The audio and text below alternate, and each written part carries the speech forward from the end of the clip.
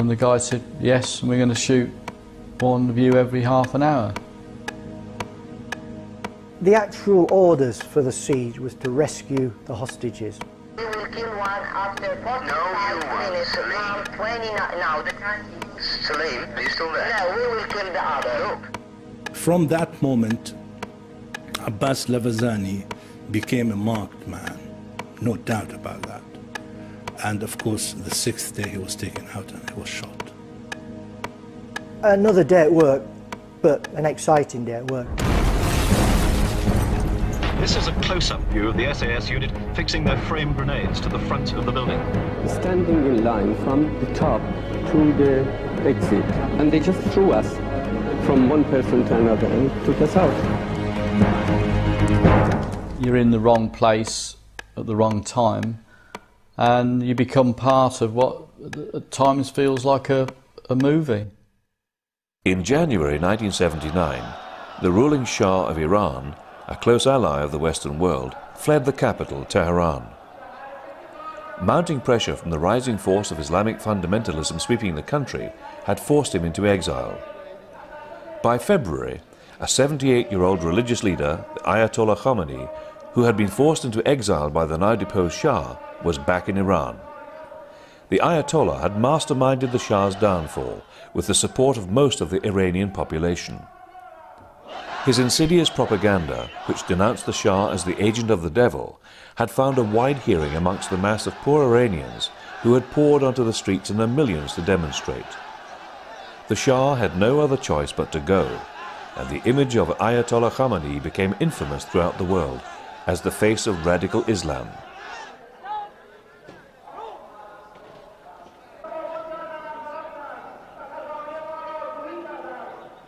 The new fanatical Shiite government regarded the United States as Satan and was prepared to breach any international law in the cause of its revolution. The price was paid by the Iranian people.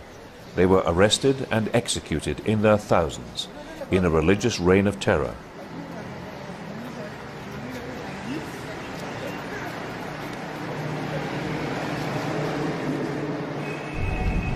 There were small pockets of resistance to the new regime, one of which was growing amongst the impoverished Arab minority in an Iranian province close to the Iraqi border, known as Khuzestan. To the Arabs, it was known as Arabistan.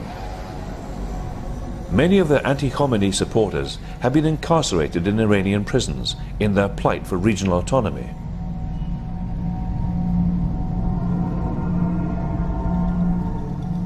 Events escalated when months later Saddam Hussein finally got his hands on the Iraqi presidency. In 1975, Iraq had ceded the eastern half of its Khuzestan border with Iran. Saddam wanted it back. And his agents recruited many of the region's young and naive fanatics to help him. With the emergence of two new radical and opposed power blocs in the Gulf, events moved fast.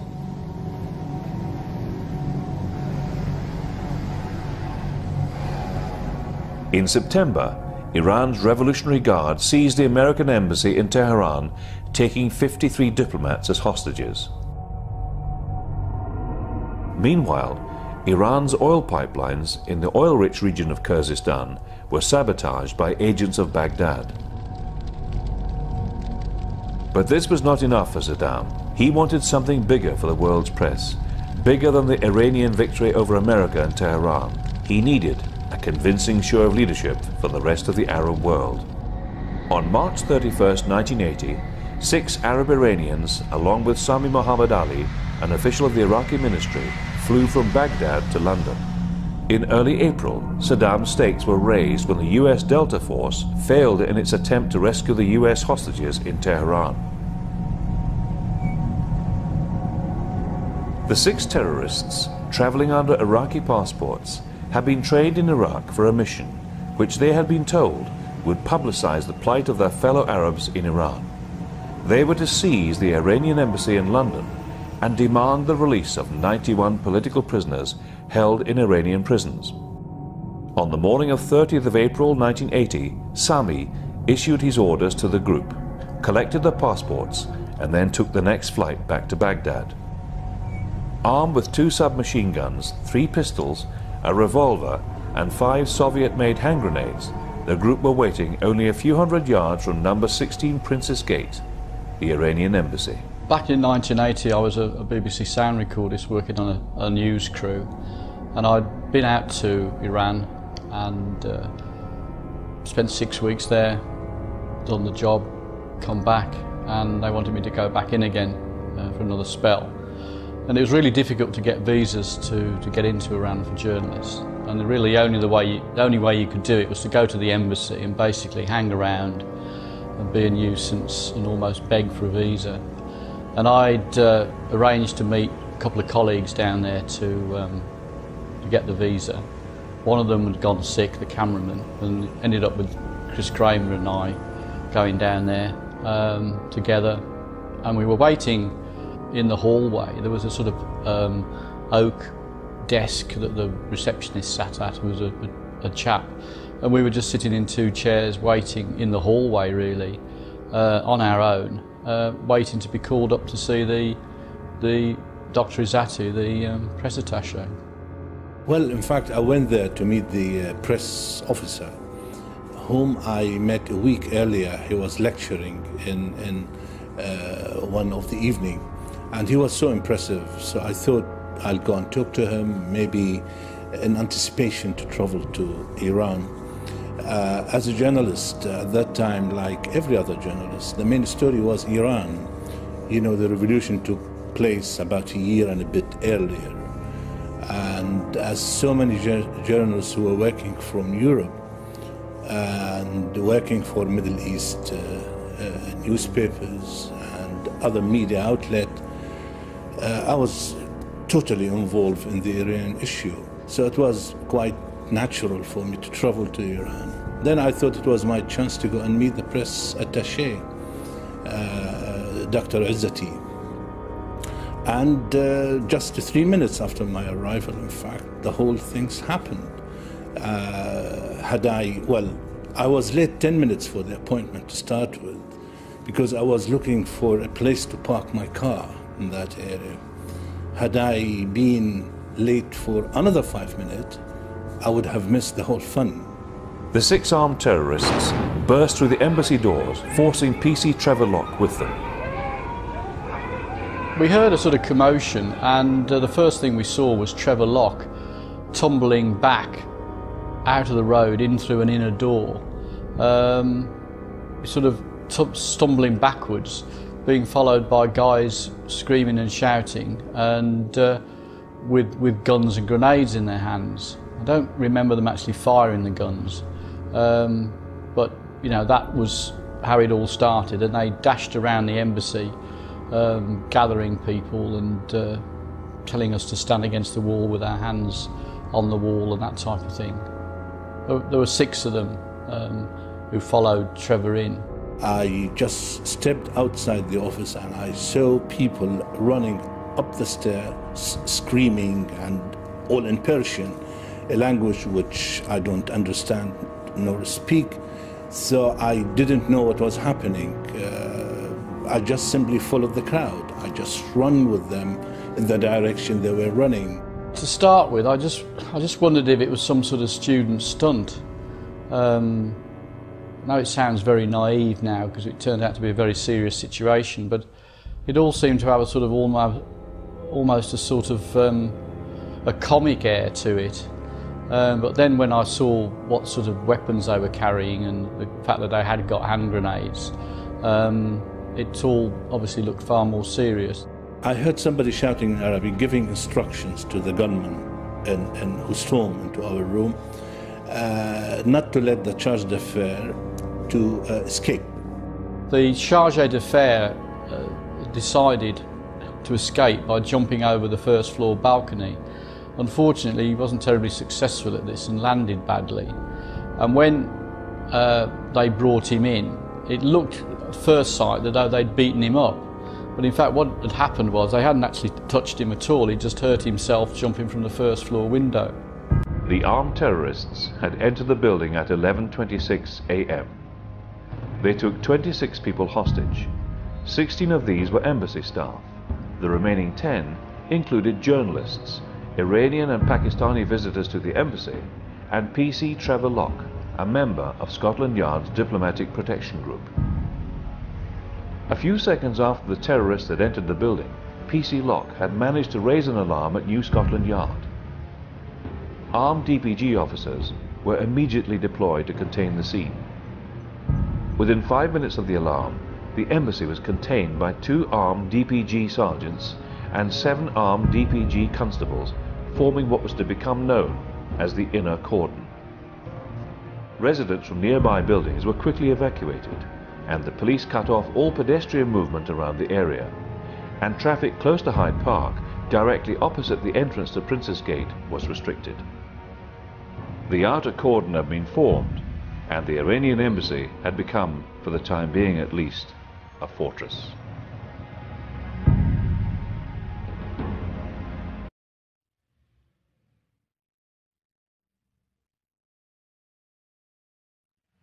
You lived in number 26. Three or four gentlemen walked up the road, private roadway towards the embassies or the buildings along there. Uh, they bundled into a house about five or six houses up. Uh, the next thing I saw, about two minutes after that, was two women coming running out in their early 30s, 35, uh, screaming really, really frighteningly. Uh, one with her hand shaking in the air. She ran down the road, and as she was running, two policemen on bikes come up from the other entrance and stopped the woman as she was running away, and another policeman grabbed the other one. And then, as soon as the police had arrived at that point, another car pulled in at the other end when a plainclothes officer jumped out with a radio, and another officer jumped and said, "Get your head down." And that was immediately when I ducked. The next thing I know was a police officer told me to stay where I was and not to move. And there was two shots, two shots that sounded like car backfire, and one was very loud. Unknown to the terrorists, an alarm had also been raised at Hereford, the headquarters of the 22nd Special Air Service Regiment, the SAS. The uh, first indication that uh, we had that the Iranian embassy siege was going down was actually in the killing house where we were practicing um, room combat and siege busting techniques. All the electronic uh, alerters which are carried in the pocket at all times suddenly all went off in unison. We uh, checked the digital readout and there was a coded message for a live option, the real thing. Suddenly a head came round the uh, door of the, the range and uh, we were told to get a HQ for a briefing. We were given the sketches of details and told to load the kit. Come on boys, load the gear up you're going to war in South Kensington. We moved down to the first holding area, Regent's Park Barracks. The immediate uh, action was planned, live ammunition issued, and we all went on standby in case the resident psycho went off medication and started executing hostages. The IA is ultra-violent, based on minimum intel. No time to warm up, going hard, hit them like an express train. Shock and awe, very much who dares wins.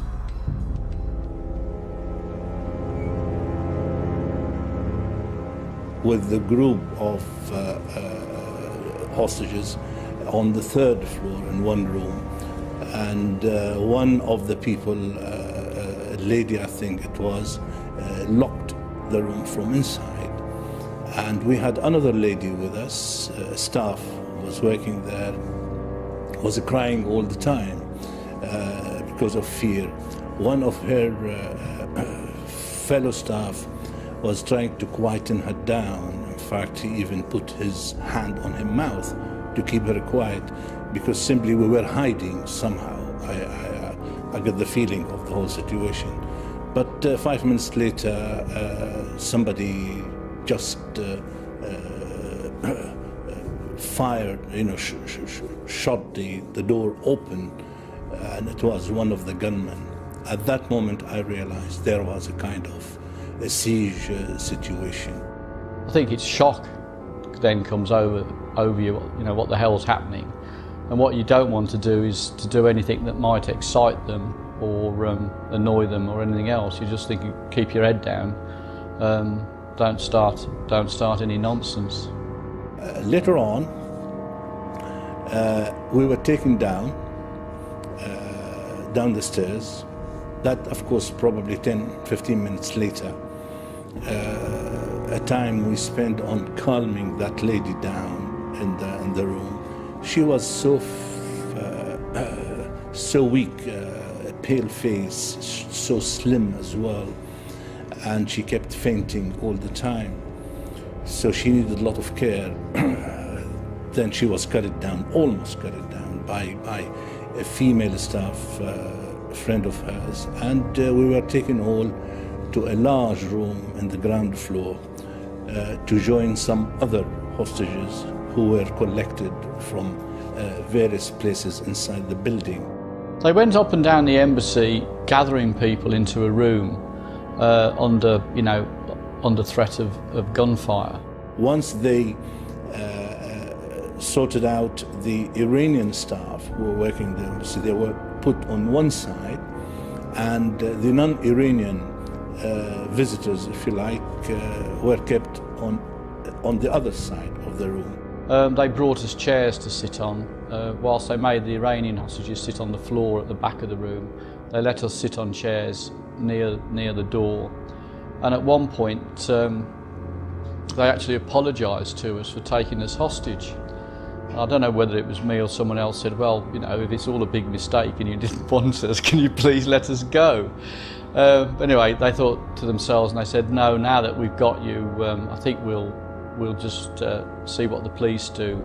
Um, but you, you know, you with your, B, your BBC and, and Mr. Locke, Mr. Trevor is, uh, I used to call him Mr. Trevor, is, uh, is, is police. So uh, we will let you go, but let's see what the police do.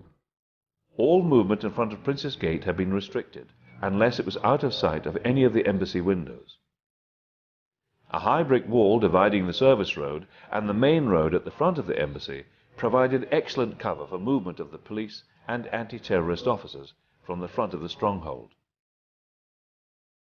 The area at the rear of the premises and the gardens in front of Prince's Gate provided plenty of cover to maintain a watch on the rear windows and entrance to the building. Nearby apartments were used as observation posts and to provide cover for snipers. Forward control, known as Alpha Control, and a base station known as Zulu Control were both established at number 25 Prince's Gate, which was then the Royal School of Needlework. Alpha Control regulated all police movements in and out of the area. Photographic Branch established an observation point to cover the front of the building. At that stage of the game, you've got to be aware that hostages could start to be killed within minutes of arrival. If problems start to occur within the stronghold, you have to go for it and you have to make the best of uh, the sketchy details that are actually available to you and it's called the immediate action plan and uh, within half an hour we could have um, initiated the IA. Negotiations were soon opened with the terrorists. The negotiators, with the aid of an interpreter, spoke to the hostages and terrorists through the lower windows of the embassy.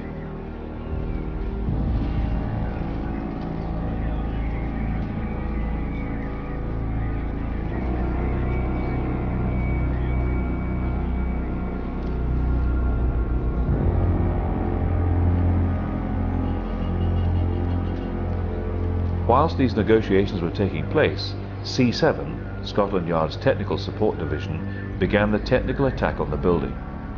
All telephone and radio lines were cut.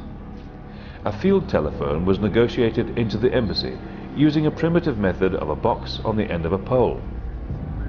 This was the first breakthrough, as it now meant all communication from the terrorists had to come through the police. At 1630 hours, the negotiators had managed to gain the release of one of the hostages, a young staff secretary who had fallen ill during the opening hours of the siege.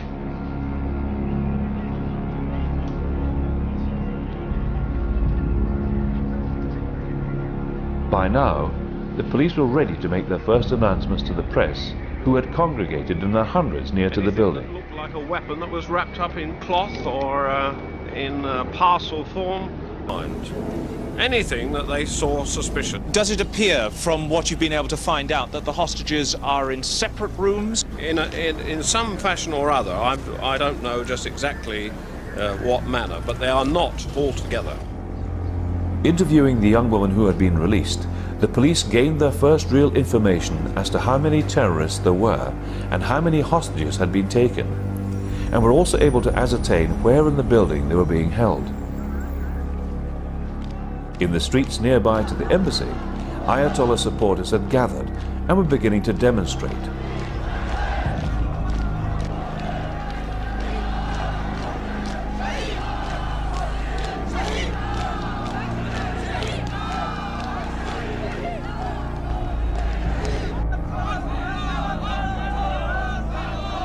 Soon, the demonstration started to build, and there was growing tension as British and Iranian demonstrators came face to face with each other. As the demonstration grew, scuffles and fighting broke out amongst the protesters. The police were not prepared to stop the demonstrations at this point, although they were getting worse, as the noise no doubt caused additional cover of movement by the police around the embassy.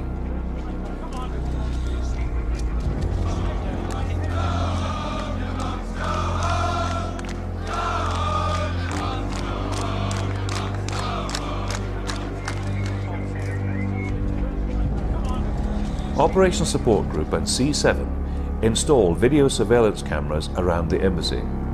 These enabled Alpha Control and Zulu Control to maintain a continuous watch on the building throughout.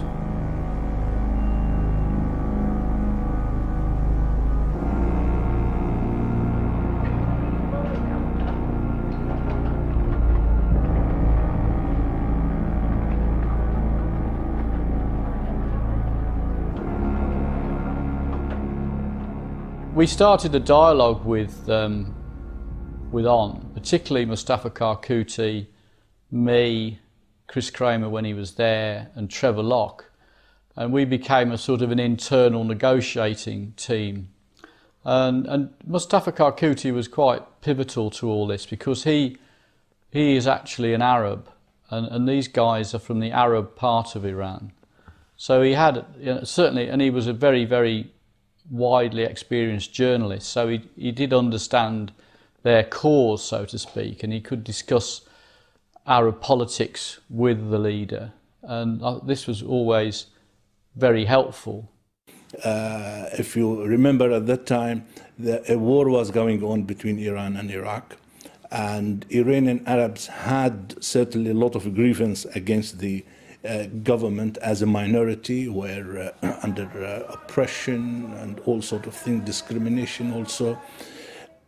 Uh, the leader came into the room, he read a statement, then we told him, uh, why don't you uh, talk to the media outside? if, if, because, you know, 10 hours, maybe 12 hours passed without hearing anything on the news, for example, what was going on uh, who the gunmen were, the uh, demands, etc. Chris Cramer, who was the colleague I was with, um, he sort of almost offered to, you know, get their message out. And what happened was, before the, the police could cut all the phone lines off, which is a pretty standard procedure, he actually managed to get a phone call out to the BBC at Bush House. And at that point, they'd actually written out their demands. They had a written version of their demands in English. Uh, of course, their first demand was the release of about 91 of their comrades in Iran, uh, which was an impossible demand, certainly. Uh, at that time, we all realized that. And that increased certainly our fear because, you know, the threat was that in 24 hours, if their comrades are not released, they'll start killing hostages. Then we uh, sort of uh, uh, talk with the leader who came into the room to explain to us the situation, why they separated us, and why they were doing this, and their background. He read a statement to us. Uh, then I said, Well, look, the main things, I mean, have you read this statement to the outside world? I mean, uh, uh, us is not enough. Uh, what are you doing outside there? He says, none of your business. We have our own people doing that. And uh, that night, in fact, uh, they have not uh, been able yet to get themselves organized and control everything. Uh, so uh, in the room where we kept, we uh, had everything. We had, for example, telephone line that was still working. Probably about six, seven of us managed to make to make phone calls to their families. I phoned my wife from there, for example, uh, to tell her where I was, and uh, gave her some instruction what to do in case I die, etc. So it was pretty serious stuff. And you to that? They didn't. They were not aware of us doing that. We did that uh, secretly. The guard was standing at the door, and the phone was in the other corner of uh, the room, uh, behind to some cupboards and drawers. So whoever was using the phone was doing it very, very quietly, while the others were sort of making noise in order not to uh, uh, reveal ourselves. Uh, at least five, including, in fact, the charge d'affaires, he phoned Tehran and he told them about what was going on. He was, in fact, shut up by the authority there, and uh, he was told, uh, "You just stick uh, to the to your mission, and if you die, we will consider you as martyrs." So uh, there was no way for uh, the government to sort of uh, give in. And of course, that even uh, uh made us uh, realize how gloomy the situation was and how serious it was. I'd been a you know a cameraman or a sound recordist on two sieges in London before the Balcombe Street siege and the Spaghetti House siege, and both of which had run about four days. So um, I suppose I got that at the back of my mind. Um, I also knew and assured the terrorists that the British police wouldn't attack as long as no harm was done to us. And there wasn't really any great physical violence at all in, in the siege with the hostages right, from the beginning to the end. And certainly to start with, um, it was, you know, as far as it could be, relatively cordial.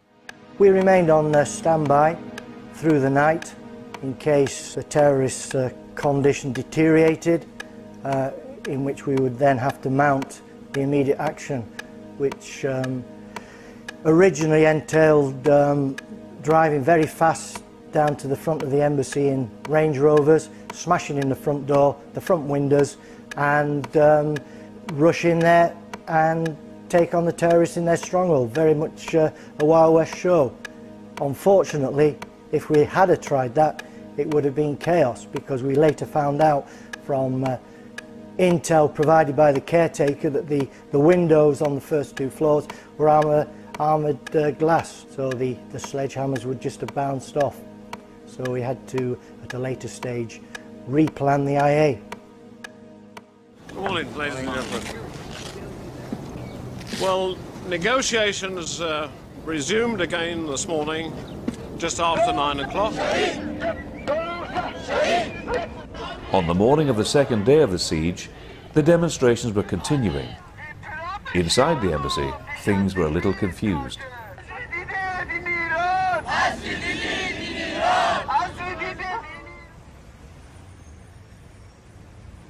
They kept moving us in the embassy up and down between different rooms, allegedly because they were concerned the police were going to attack and they didn't they want, didn't want them to know where we were.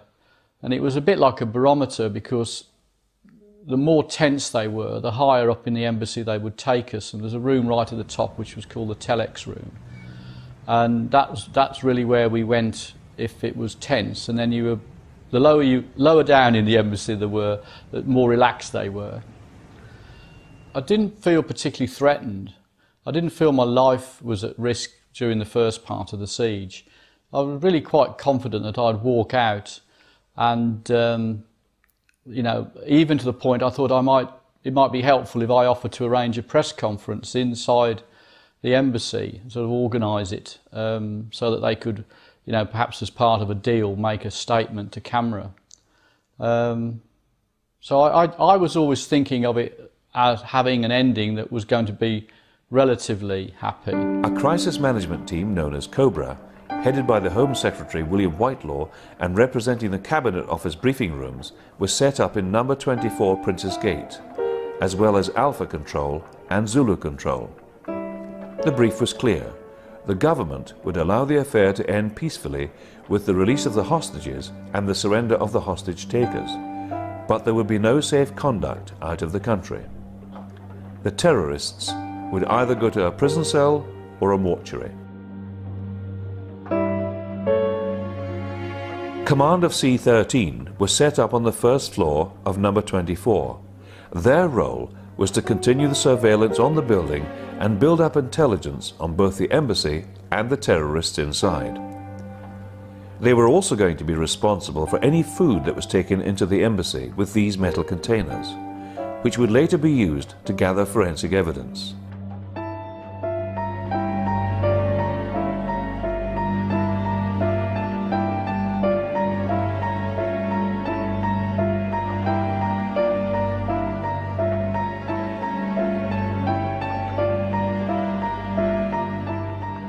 Negotiations with the terrorists continued, and the negotiators were expertly building up a rapport with the gunmen.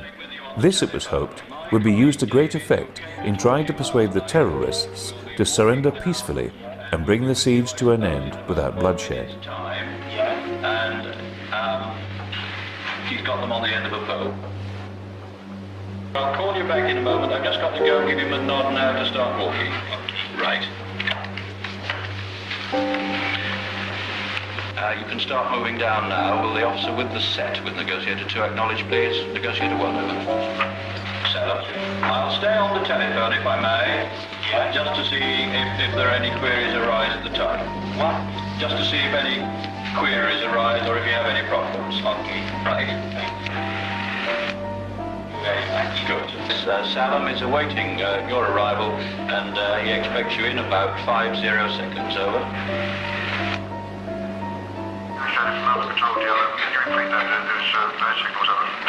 Yes, I was telling you that negotiator 2 was now withdrawing back to us with his piece of wood. Over.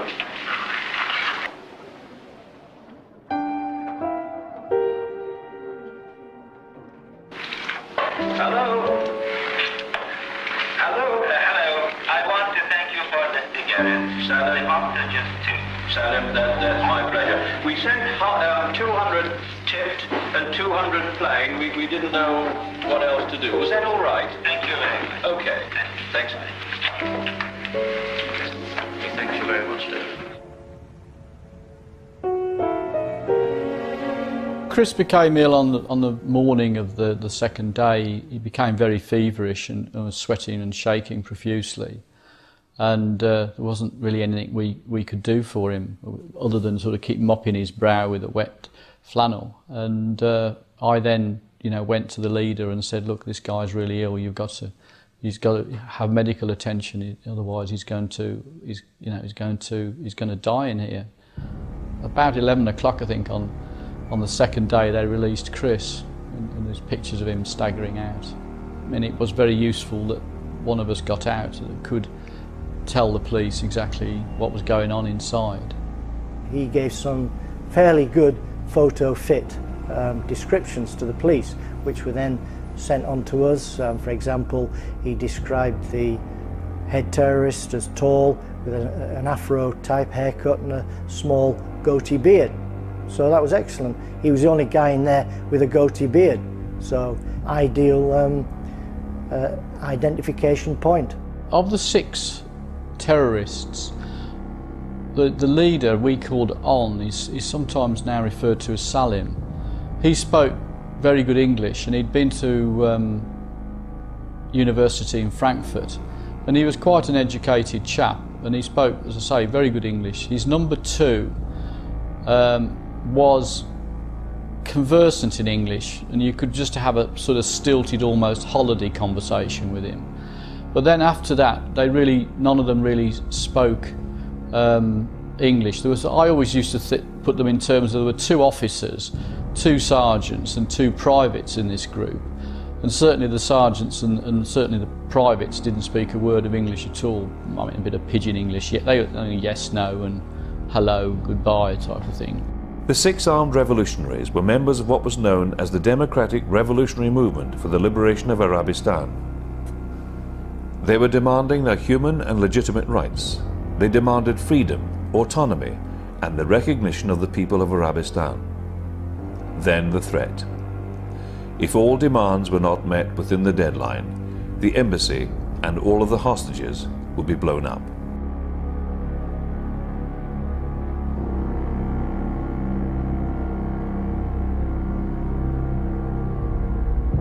Fauzi was the nice gunman, really. Uh, he would often come to us with a smile on his face. Uh, he got angry maybe once or twice uh, during the siege.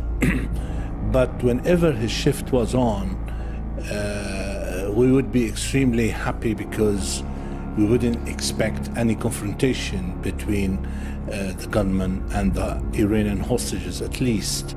But in the background, there's always this little Ali with his hand grenade in his hand, or with the with the grenade in his hand, often would come, even if it wasn't his shift. He'll just storm into the middle of the building uh, and look with wide, big, open eyes in the faces of the Iranian hostages, inviting them for trouble, you know. So that was pretty scary. I mean, whenever he showed up, uh, just his mere physical appearance was enough to send uh, uh, fear into our spine, tell the truth. Uh, but, but, but he, he just wanted to kill somebody. I mean, you know, it was pretty obvious. They appeared to be quite well disciplined, if not particularly well trained. Um, we didn't really, Trevor didn't really think that they'd been had military training of any significance. I mean, they clearly knew how to handle the weapons, but they they didn't come over as highly trained um, soldiers or anything. They were just a sort of bunch of um, you know uh, guys who felt they could further their cause by taking hostages. Many of the negotiations were relayed by PC Trevor Locke through an open window. Unknown to the terrorists, PC Locke was in fact armed, which Sim Harris was soon to discover. I kept on to him about taking his jacket off. He'd got one of these thick sort of Gore-Tex jackets. And I said, why don't you take your jacket off? He said, I can't. He said, I said why not? I said, it's bloody hot in here. He said, I can't, I've got a gun. I said, oh my God. He said, I've still got my pistol. And I actually tried to persuade him because at the time the atmosphere was okay. I said, can't you, I think you should give it, give it to them, Trevor. He said, I couldn't. He said, I'll get the sack. He said, you know, I can't give them a gun up. I said, because I said, I'm so frightened if they do find it, what they'll do to you. He said, well, I'll just have to take that risk. He said, I know what you mean. He said, but I, I can't possibly give my gun up. He said, uh, just, just no, no, I can't do it. As negotiations continued in the second day and the first deadline came and went, it was becoming clear to the terrorists that the British government were not able to intervene and secure the release of the prisoners held in Iran. The leader, Salim, changed his demands. I think they'd been, well, certainly the guys in the lower ranks had been sold a bit of a pop, really. They'd been told they were going to get a fabulous, all expenses paid trip to London. Um, they were going to be uh, have relationships with some very nice ladies. Um, they were going to take hostages, but th th then they'd be flown home. And that, the British police wouldn't hurt them, and everything would be fine, and they'd be flown home and you know, a great success for the cause. We managed, when I say we, I mean uh, now three of us really, because uh, Chris Cramer has already been out uh, from the first day. Uh, it was Trevor Locke, Sim Harris, and I. Uh, we managed to somehow uh, talk to the leader and his number two, Faisal, about a possible end of the whole siege itself peacefully. Uh, in view of the fact that the police is not really responding to you, and we doubt if they will. We explained to them the policy of the government of the time, of Margaret Thatcher, how tough she was on security. And uh, we cited two examples to them, which happened in London not long time ago. The Spaghetti House siege in Knightsbridge and the Balcombe Street uh, siege by the IRA. To our shocking surprise, they, have, they never heard of these two incidents. Oh my God, how on earth you coming to do an operation, siege operation of this kind, and you have not been briefed about these two major events, which happened just a few months ago, you know? No, they didn't. And we told them about these events and we explained to them what happened and how they ended. They were shocked when we told them this. So we found here a kind of maybe uh, a point, a weak uh, point in our favor. So the gunmen were extending the deadline. After 2 p.m. today, all responsibility falls upon the Iranian government.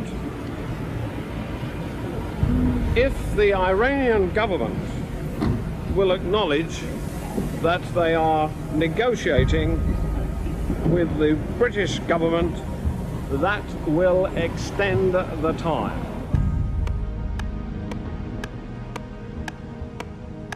It was a half thought that they, they would eventually surrender, possibly. Um, there'd been, you know, we'd had good negotiations with PC Locke, who put his head out of the, the window there, and some of the Iranian uh, members of staff. And they, they did seem fairly com confident that they could bring the siege to a, you know, um, a friendly conclusion. And then the other half of you think, well, what happens if they do lose, lose patience, start executing hostages? We've got to go for it then. No going back. Chief Inspector David McNee stated in a press conference that there would be no attack on the embassy, but that neither would the British government capitulate to the terrorist demands. The gunmen inside the Iranian embassy must know that it is not within our power to meet all of their demands, whatever our views on the rights and wrongs of their cause may be. I appeal to them to remain calm. Hasty action may cause even more suffering to their own people in Iran. I feel deep sympathy for all the hostages in this time of stress, but you will not mind if I have a special thought for Constable Trevor Locke. Meanwhile, outside the embassy, the demonstrations continued through the night.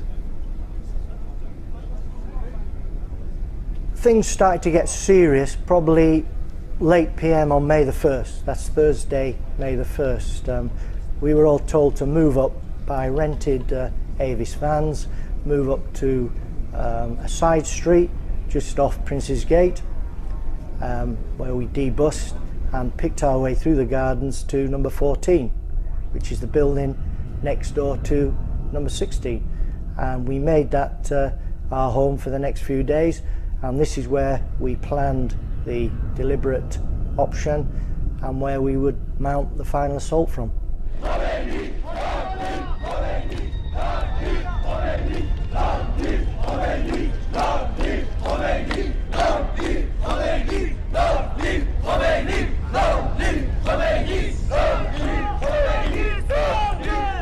I remember Aoun was telling us, at least on the third day, that he was on that Salim, the leader even, who was supposed to be the most, the most mature among the gunmen, was telling us that he was getting tired and bored because he was briefed that he would do this operation and finish with, with within 24 hours.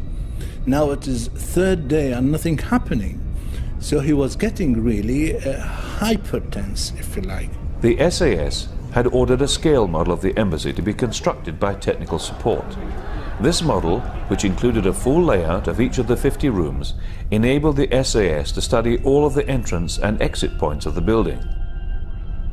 We planned, or the, the SAS had planned for this uh, type of operation through exercises, uh, simulations, um, all that kind of stuff.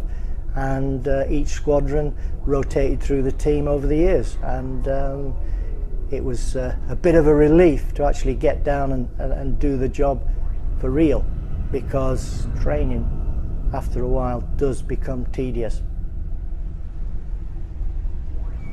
We were totally, the assault troopers, we were totally separate from the police.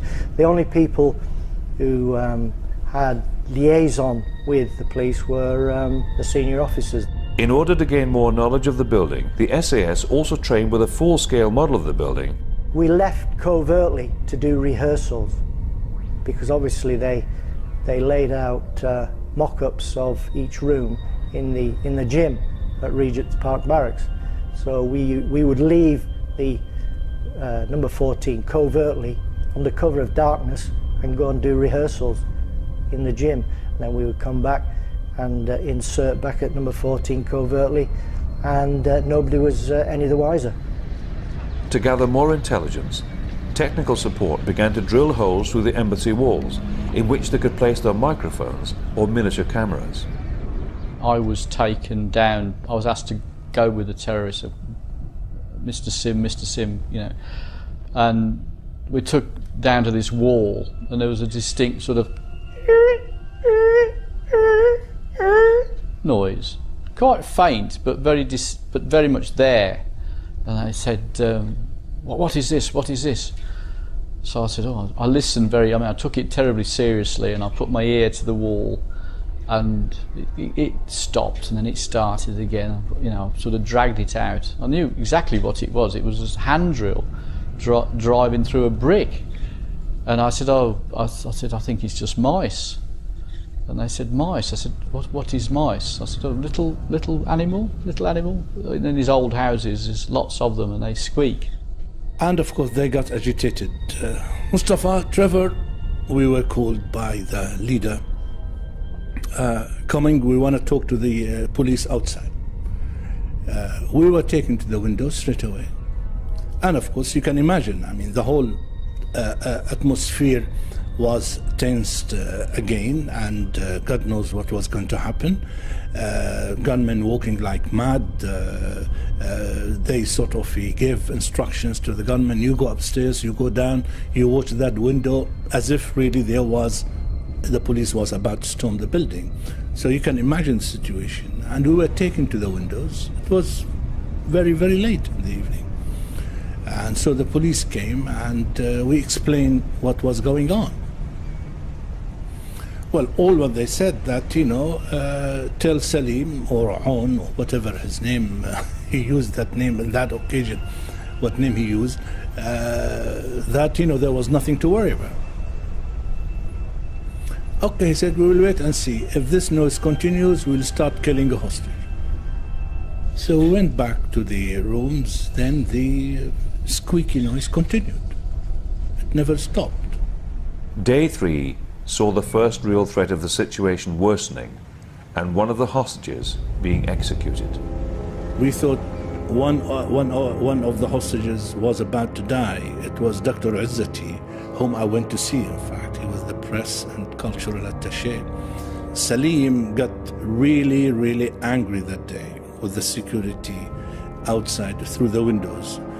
Uh, we were still allowed to talk to them through the windows, face to face at least me and PC Trevor would come to the windows whenever we were asked to do that and talk to the security outside with the guns, of course, behind our back.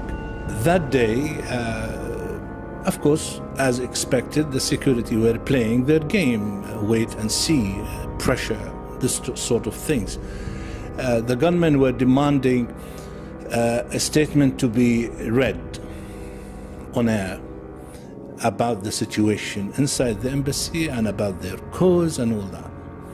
The security asked back uh, for uh, a reward, if you like. Uh, they didn't want to give it free. And what they wanted was uh, a release of some hostages.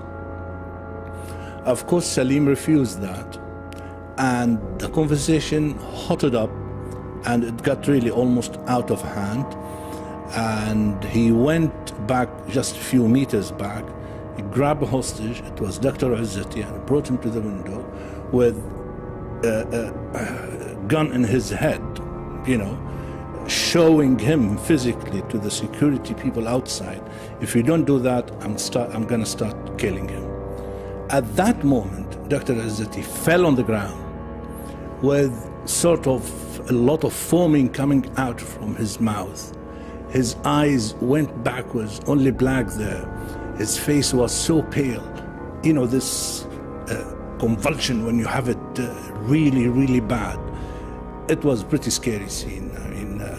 We just, you know, went around him, carrying him, trying uh, to do. We, we didn't know what it was. I mean, to start with. It took us about 10, 15 minutes to bring him back to life, if you like. Uh, so the whole atmosphere was so tense. It was uh, uh, silent for probably about half an hour. Really, you could hear a drop of a pin on the floor. Nobody was saying a word, including the gunman. That was the first serious uh, uh, tense moment during the series. The serious, we had few one before, not so serious, but that was very, very serious indeed. Uh, because later on Salim came and apologized from the uh, gunman, though he was Iranian, and he told him we did not mean that. We wanted just to show the police outside that we meant business. There were still no signs that the terrorist demands were going to be broadcast to the world. As the fourth day of the siege began, it became clear that the Iranian government had no intention of intervening in any way. Well, I've already told them over the phone. They uh, tried to contact me last night that we concede to no blackmail whatsoever, whether from uh, the superpowers or any country or a small uh, group of terrorists. We stand fast and concede nothing and uh, that is what we have always said and that is what we have maintained and will maintain. Could you tell me some more about that conversation you had with the gunman in the embassy? Because it's widely reported that they made threats to you and you replied with threats to them. No, there wasn't a threat. Actually, they said we have already sent our demands, and I told them precisely that. And I told them also that if anybody will be harmed in the embassy, then it's going to be the severe repercussion on those whom you want to have their liberations. That is, their crimes will be added to the crimes of those whom they asked their liberation. I think he will regret for this statement. Can you go into details? What do you mean he will regret it? I mean, uh, after the deadline, every, we will kill everybody here, all the hostages. The Saturday night was crucial because they wanted a demand made on the radio. They wanted a statement read out on the radio, and the police were using their tactics were delay, delay, and trying to get concessions from the terrorists. To allow hostages to come onto the pavement outside the embassy. Um, I told you, you know, we don't want the life broadcast. We don't want this, this word, you know, this. Right. We want just to The still photographs were taken by the terrorists on a camera which was subsequently found among the debris in the embassy.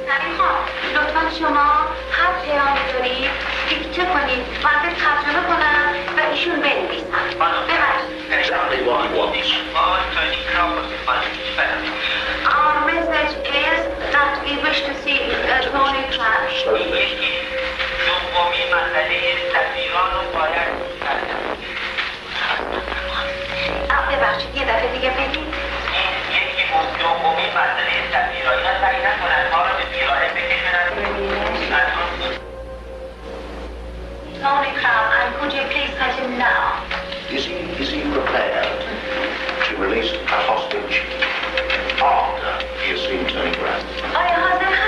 مثل اینکه آقای تونی کراوت دیدین یکی از گروگان ها را چیز آزاد کنین خیر ولی اگه جسد دیتونش رو میخواید بعد بعد از چند لحظه تحویل Uh, no, we're not prepared to free any of the hostages, but if you want to see a dead body of any of the hostages, you may see them in a few minutes.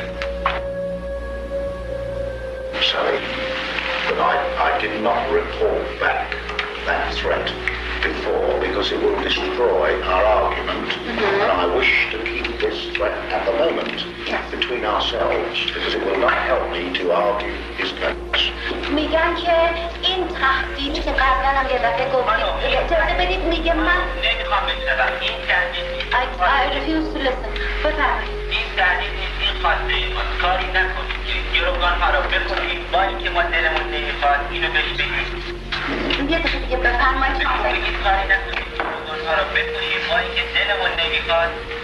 Please uh, don't do something which will cause us kill the hostages because we don't really wish to do so.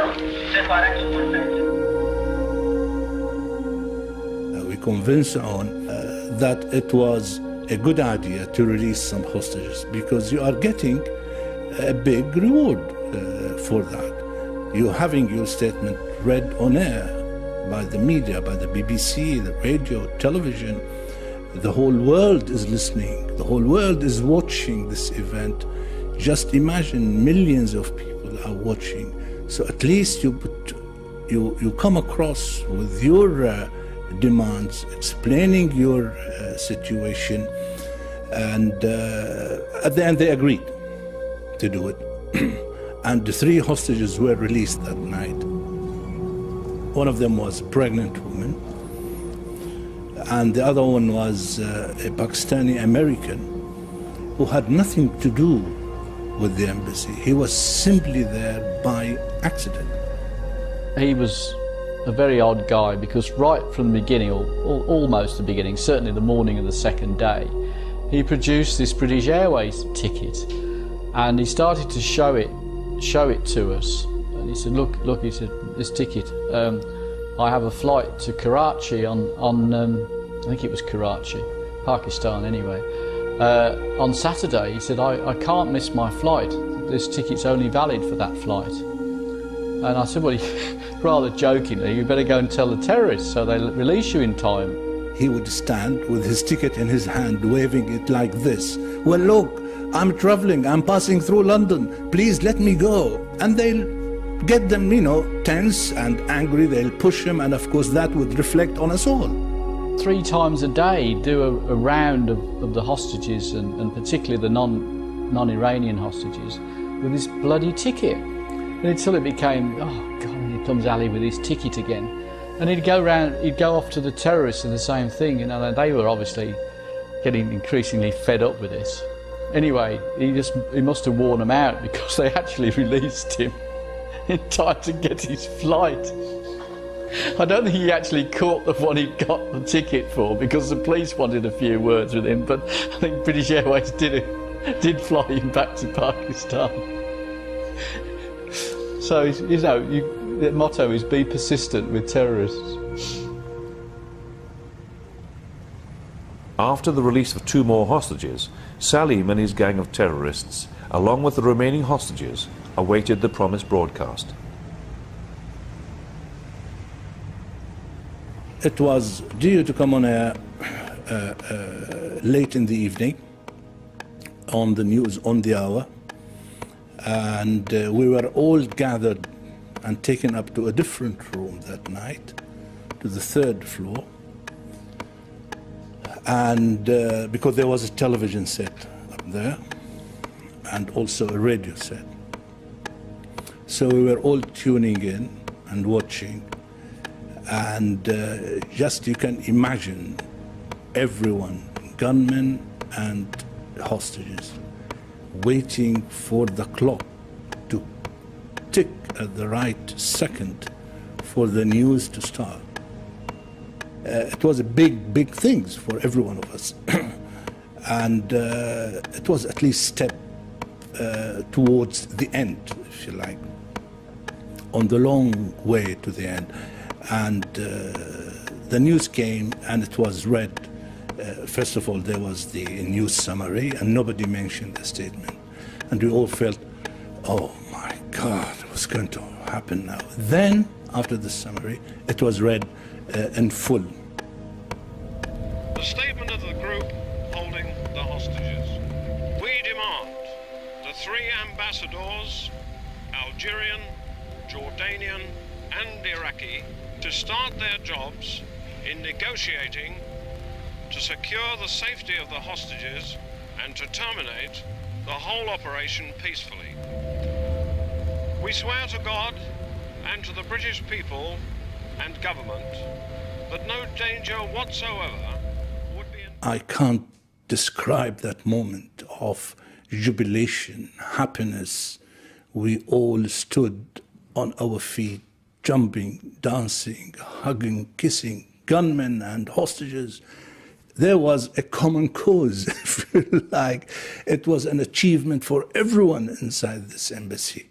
Uh, it was like a party atmosphere because the uh, the police went off and got you know almost asked what people wanted to eat, and the um, the Iranians came up with all these. I mean, they sat down and wrote this sort of carry-out order, and we just said, "Oh, anything, you know, uh, sausages, steak, anything."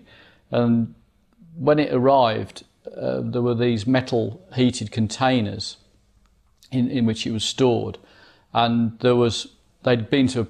I learned afterwards, they'd been to a police canteen and got all this English food and chips and things like that for this for us English, and they they'd pulled up in two police cars outside an Iranian restaurant, not very far from the embassy, and just sort of literally burst through the door and said, "Stop everything! You've got to cook this lot." This meat and rice and some pickles and lady's finger with meat and some sweet and some uh, green olives and some chili and some spring onion and some radish. This is all this thing I sent it today, 22 person, like this exactly.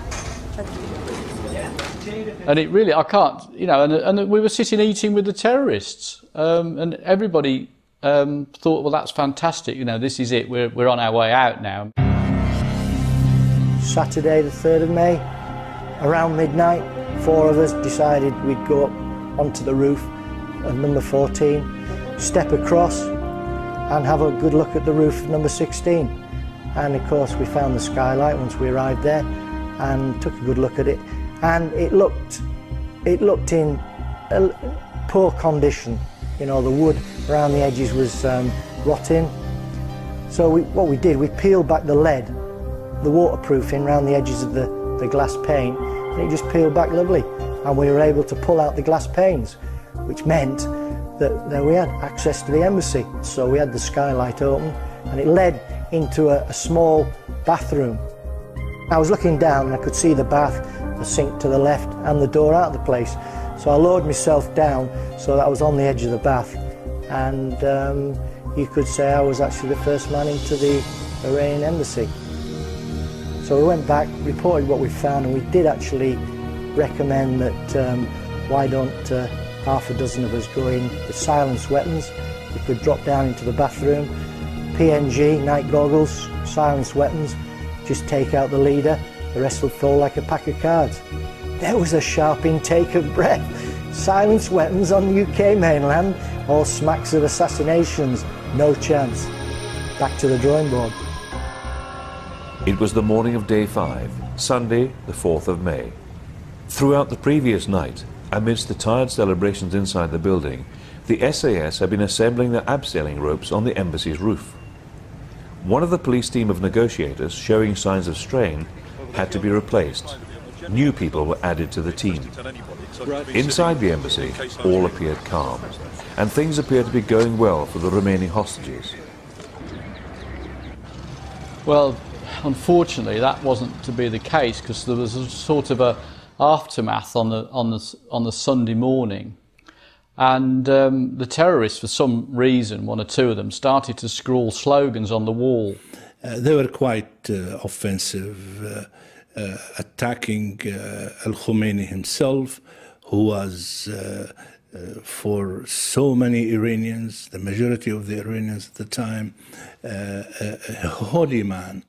Well, this really wound up some of the, the, the Iranian hostages, the, the real zealots. and really got them really got them wound up to such a point that one of them tried to well he went he just attacked the second in command uh, just went attacked him. He, I mean the guy was carrying a machine gun and everything but he just went for him. And the hostages wrestled this guy to the floor to try and you know just to stop this happening because we could see all this just becoming a bloody bloodbath. And I remember I was on the floor with uh, with this bloke, and there were several of us trying to hold him down. And Trevor Locke, the policeman, standing above us, and uh, he, were, he was just saying, "Just hit him, just hit him." I hit Abbas Lavasani on the face. I slapped him on the face, and I told him, "Well, look, you are risking our lives here, you idiot. If you want to die, you go and die outside. If you believe in God."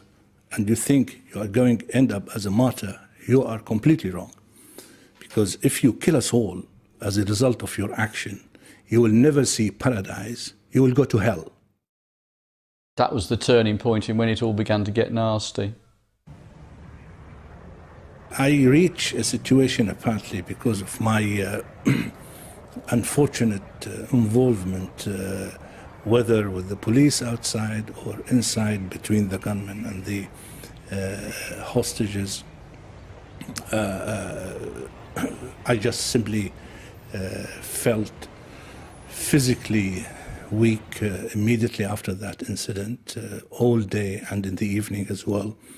I just was sitting down, uh, very quiet, quiet, physically unable to, to, to move, tell you the truth, and suffering from fever cold and hot all the time. And uh, to the extent that my uh, fellow hostages got really worried, Sim Harris and the rest. They spoke to him in Arabic, and and he, he, I said, "What do they What do they say?" He said, "Oh, he said they they're going to let me go." We want you to speak to the authority outside about real intention, our intention, and uh, help us to end the situation. He burst into tears and oh, kissed us all goodbye and all that sort of thing. And as he went out the door and down the stairs, you know, Trevor looked at me and he said, "That's not good news, Sim, is it?" And it wasn't. It was a turning point, really. It was Monday, the 5th of May. The head terrorist, Salim, was losing patience. It was clear that the waiting game was soon to be over. Cobra met with Sir William Whitelaw once again. He let it be known that the ambassador stage had passed, deadlines had come and gone, and a firm line would be taken during the day. The commanding officer of the SAS advised Cobra that the deliberate action plan now required less than two hours' notice to succeed. The only concession made to the terrorists was that a local mullah from Regent's Park Mosque was allowed access to try and calm the situation. On the Monday morning, uh, the dreadful final day, they one of the terrorists came into the room we were in and um, pointed at uh, Lavasani and said, You want to die? Come on. He stood up, bared his chest, and was seen leaving the room. Trevor and I were then asked to go down to the ground floor, almost following him down, and they started to tie him up to the, the bottom of the banisters with what looked like electrical flex. And the police were alternating, trying to talk to me and then talk to Trevor and talk to me and then talk to Trevor. And they were asking us to describe what was happening and, you know, did, I, did we think they were going to shoot him? And we were saying, well, it looks very like it, you know. And I remember Trevor saying, well, sir, they're tying him up to the, the banisters and uh, they've told us they're going to shoot him. And we, Trevor and I went, were taken back up up the building, and a few minutes later, there were four shots.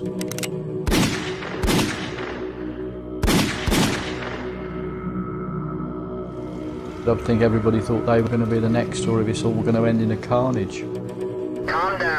Calm down, Salim. Yeah, we don't calm down. Calm down. We will kill one after 45 no, minutes. Salim. 20 now. The time. Salim, are you still there? Yeah, we will kill the other. Look, we are very sorry. We are very sorry. Obviously, the tension inside the uh, stronghold was uh, unbearable.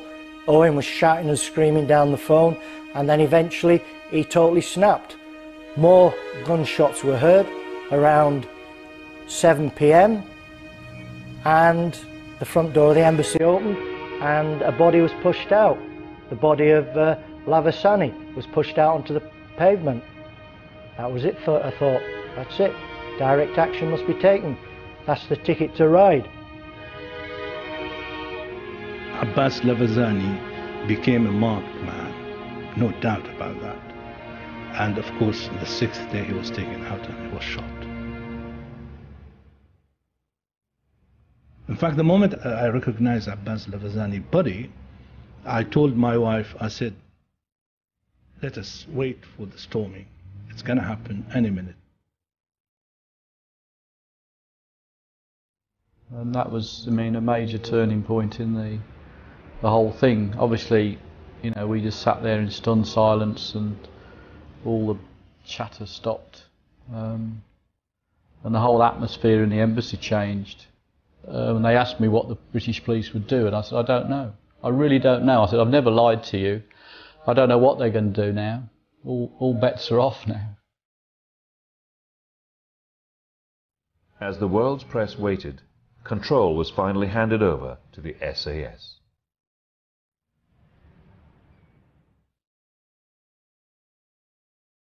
So, the colonel, the colonel took over responsibility of the siege from the police, and we all moved up steadily to the final assault positions and awaited for the code word London Bridge.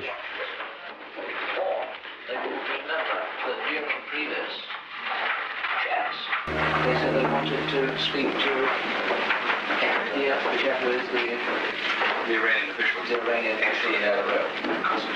We certainly left the artery. Shortly after the, the three shots had been fired, about probably half an hour or an hour afterwards, um, they took Trevor and me down onto one of the balconies or the, um, the, the stair inside stairway. I think it was on the first on the first floor, and the, the field telephone was there. Then this field telephone seemed to move around on a long cable all up and down the embassy, and uh, we we spoke to the police. Hello, Salim. Hello, sir. This is Trevor. Hello, Trevor. He's told me, he's insisted that I come down and speak to you and tell you directly that if anything is done re-attack, all hostages will be killed. All we're trying to organise, Trevor, is the coach and the aircraft and the movement of the Iraqi ambassador. And I'm going to let you speak to the Iraqi ambassador, and I will get him to reassure you that nothing is going to happen. First of all, we will You've got to get out of that building. Do you understand? Yes. Onto the coach. Yes. The coach has got to go to London Airport, Yes. okay? And there, there has got to be a movement of the people from the coach onto the aircraft. Of course, during this, this conversation, they're wanting to talk detail of numbers and all this detail about Trevor driving the coach and how they're going to organise all this. About 25 seats. Uh, about 29, sorry, about 29 seats. Yeah. Now, whereabouts shall we put that coach first? Shall we put it opposite of the door? Well, uh, opposite of the door is a very vague phrase. If you're looking out of the window... After we check it, after we check it, yeah. then you will put it inside the door. Well, let, let, let's, let's talk about that then. Okay. Opposite the front door, you're looking straight out over the park. Can, can you listen to me and we'll just talk about the first movement of the coach up to the front door. Now, we, if you look out of the window directly ahead of you, there is the park. Now, to the right, there is just the end of the wall, and that is where those gas men were working on the uh, the generators and were working on that gas leak. Okay, I'll phone you after three minutes. No, let, let, let's talk about yeah, this. they're Salim. asking me. Just three minutes, I'll, I'll go. I'll come again. Hello, Salim. Salim. We are, you know, we are listening to some suspicion uh, movement. There, there is no suspicious movement. There's suspicion. Okay. Salim. Uh, just a minute, I'll come back again. I'm going to check. Salim, th- th- there is no suspicious movement, Salim. Salim. Salim, there is no suspicious movement. We got London Bridge, the code word, we were on our way. At approximately 7.26 p.m., the embassy was rocked by two diversionary charges. Our final assault position was in the French windows at the back of number 14. We pushed those open, ran out of number 14, crossed the gardens into number 16, and I looked up. I could see uh, Tom the Fijian. He's one of the abseilers, and he was hooked up about eight feet from the balcony, clogged up, and his, and his legs were actually swinging into the window where flames were now starting to um, lick out onto his body. The OC was screaming, get in on black, because we all stopped there. We thought, because originally we were going to blow the door into the library. Couldn't do it, because the upblast could have peppered uh, poor old Tom. We had to resort to uh, sledgehammers, so the sledge guy ran forward, smashed the door, and luckily it wasn't barricaded. Luckily the door smashed in, and uh, we all ran in through into the which, what was a library. From there, there was eight of us, two teams of four. From there, you split up and go for your primary target. My team's primary target was actually the cellars. At this stage of the game, the adrenaline is pulsing through your body, you know, and you feel like Superman. Nothing can stop you. The door to the cellar opened, uh, slung a stun grenade down there. I thought, I ain't running in there. There could be a terrorist stood right at the bottom of the, the corridor, you know, blow me away. So I just uh, poked the MP5 round the, round the corner and hosed, uh, hosed the corridor down. There was nobody down there, so we then made our way back up the cellar steps to the reception area. Outside the embassy, the police were rapidly taking up their positions. They would be the reception party should any of the terrorists escape.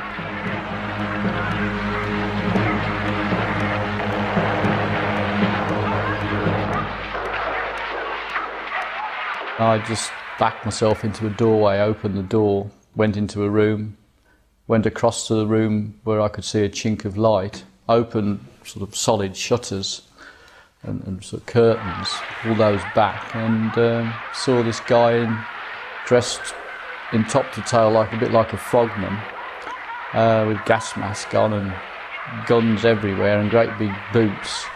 And uh, I mean, my immediate thought it was the police. I thought, oh God, the police have got themselves kitted out for this. Uh, I mean, you're in such a state of panic, you can't believe it. Well, you don't feel you're in panic, but you are. And the guy said to me, he sort of mouthed at me, get down, get down, and pointed down. And, and then um, he, he stepped back, and then there's just enormous explosion.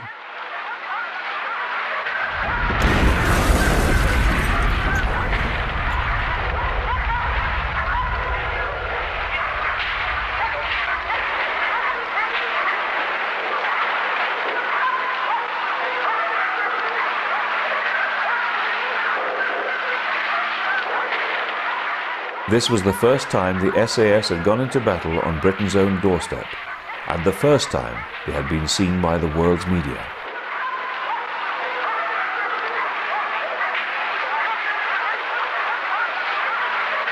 And then the, and they came, four of them came in. They threw in grenades ahead, the smoke grenades and the um, flashbangs, and they then came in. And, and the last one through just said, "Stay there, stay where you are." You could hear flashbangs going off, you could hear screams, you could hear shouting, you could hear the, uh, the drum of uh, 9 milli MP5s going off. Um, it was just chaos. There was smoke everywhere, there was tear gas which had been pumped into the front of the, the building was now swirling down, down the, the stairs. Um, it was all gloomy because of the terrorists had put um, blankets up at the window. It was a total war zone. Here, you can see PC Locke escaping the smoke inside the embassy. You can also clearly see his gun. The look of relief is clearly showing. From outside the building, it was apparent that the flames were starting to intensify.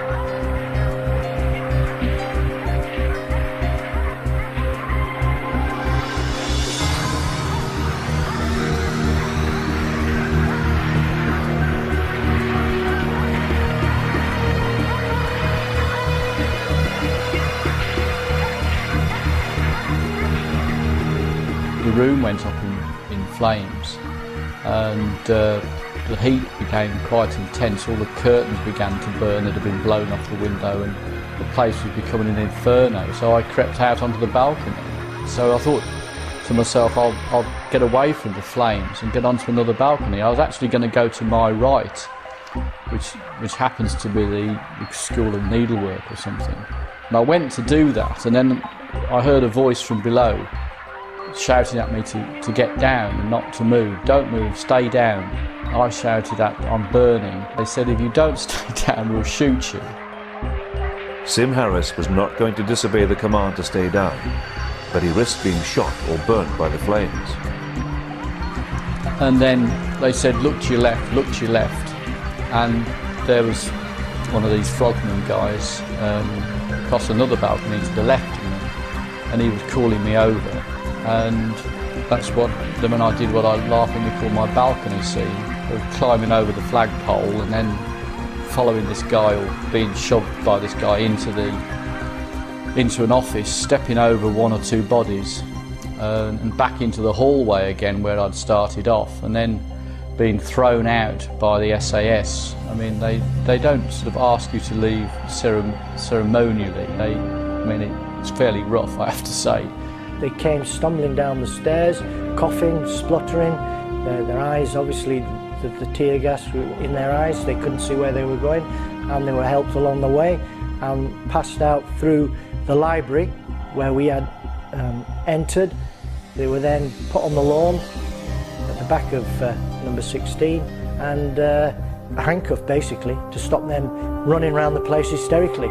As the embassy was being secured, one terrorist had a final surprise in store for the SAS inside the building. Somebody at the top of the stairs yelled this one's a, we think this one's a, a terrorist. And we looked up and there's this big guy, afro haircut, combat jacket. Yeah, this guy, he looked trouble. And he was running, running scared. I looked at his hand, and in his hand, one of his hands, it, I could just see the, the primer of a Russian assault grenade. I thought, he's got a grenade. You know, he's going to take people with him. But I had the MP5 leveled with the guys, he'd come level with me. But you can't open fire. And there were guys at the bottom of the stairs. I mean, a round could have gone straight through at this sort of range, straight through the terrorists and possibly hit one of our guys. So what do you do? You know, got to disable him. All I could do was bring up the MP5 and I whacked him on the back of the neck with the butt, the MP5. It did the trick. He fell to his knees and rolled down the last few steps into reception. As he hit reception, he was then shot. Three or four magazines emptied into him, just to be sure. If that grenade had gone off in the confined area of the, the embassy reception, there'd have been a few with um, serious shrapnel wounds. As fire engines rushed to the scene and the barriers of the outer cordon were removed, the siege was winding down. Things started to wind down from this moment in time. Um, we could hear that the gunfire had definitely stopped. There was still quite a bit of shouting and screaming. And of course, unbeknown to us, one of the terrorists who'd been dressed in civilian clothes that were, were actually given to him by um, one of the secretaries, she'd sneaked him out. Obviously, the um, Stockholm syndrome, and um, sneaked him out because she liked him, had a relationship with him over the last few days, and he ended up on the lawn, handcuffed, and amazingly enough, he was put next to um, Sim Harris. I looked over and it was one of the terrorists. And I said, he's a, he's a terrorist. Are you sure? Yeah, I said, I'm absolutely sure he's one of the terrorists. And there was a group of the girls clustered around him and they were screaming, don't hurt him, don't hurt him. And the guy said, they, they, they're saying he's not a, a terrorist. I said, no, he is a terrorist. I don't care what they're saying, he is a terrorist. And they then picked him up and the legend goes they were going to take him back into the embassy again, but uh, the police stopped them doing, doing that. The fire took a firm hold and the building became an inferno, but it was secure and the police could now start to bring out the hostages. They were brought out, wounded first on stretchers.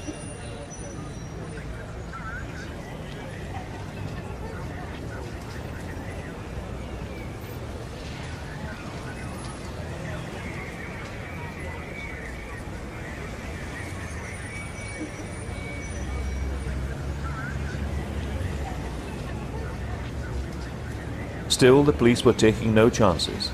Marksmen were positioned, guns poised, protecting the police and hostages as they were led out. Became apparent once we counted the, the hostages that we'd actually rescued 19. Uh, five had been released. One had been uh, executed, that was Lavasani, and one had been uh, murdered in the telex room on the, uh, the assault, on the final assault.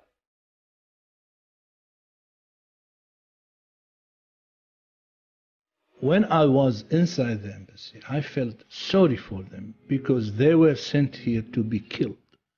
They were simply sacrificed, viciously sacrificed by other authority, in this case, Iraqi intelligence. So I really felt sorry for them, certainly. But now, when the siege is finished and five of them uh, were killed, uh, one of them, uh, and the, uh, the sixth is in prison, uh, I don't feel sorry for them. It's a totally different situation. Why it is hard to explain. Well, it's an experience that, I mean, lives with you for the rest of your life.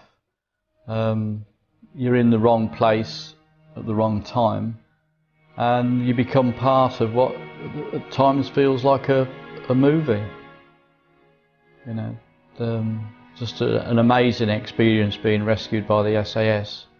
I probably remember very little about it because it was just so fast and so slick um, and brilliantly, brilliantly carried out. I, was just a bit player in it. But thank goodness we've got people like that who can undertake those sort of missions. This was the first big, spectacular that came came to the knowledge of the general public, and it wasn't intended to start with. I know for a fact that smoke generators were intended to be ignited um, when the diversionary charges went off. Smoke generators should have been ignited so that a blanket of smoke wafted across in front of uh, the gentlemen of the press who were down the end of the street, so blocking off any sensational newsreels. At the 11th hour, word came down that the smoke generators would not be ignited. Basically, Maggie Thatcher, Cobra, they wanted that on the screen. They wanted the world to see what happens when terrorists come to UK. What happens when the gloves come off and the Brits go into action. They wanted that, and they got it.